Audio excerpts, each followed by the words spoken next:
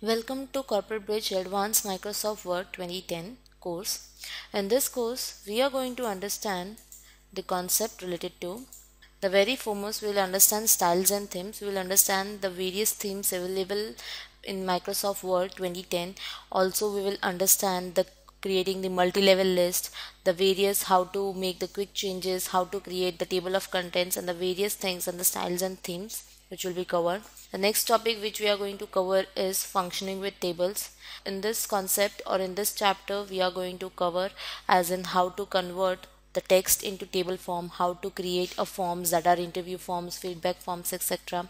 How to convert table into text and the various other things with the tables we will make use with to make the document more attractive the next thing we are going to understand is document structuring blocks or you can also say document building blocks where you will understand the concept of numbering pages headers and footers creating your own headers and footers for a document to make use in the another document as well Next is sharing a document. In this concept, you will understand how to share a document through email.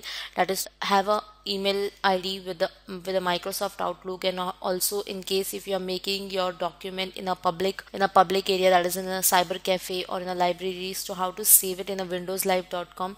All these things will be understood in this chapter. Next is reviewing documents. In reviewing documents we will understand how to track the changes. If in case the changes has been made by the other person with the document which you have made how to track those changes how to accept and reject those changes and also how to compare and uh, how to compare and combine the changes which have been made. All these things will be understand in reviewing documents next we are going to understand is working with mail merge. With a mail merge in case if you want to send one particular letter or one particular mail to many of the employees to many of the people all together how to do those things so this concept we will understand in a mail merge where you will understand like you can mail the envelopes letters fax you can do anything by this function that is working with mail merge in microsoft word 2010 the last concept we are going to understand is finalizing and protecting document. When you're done with all the content with all the things or with all the text or article how to finalize your document and how to protect your document from any sort of malfunctions. So these all concepts we are going to cover in the advanced course of Microsoft Word 2010.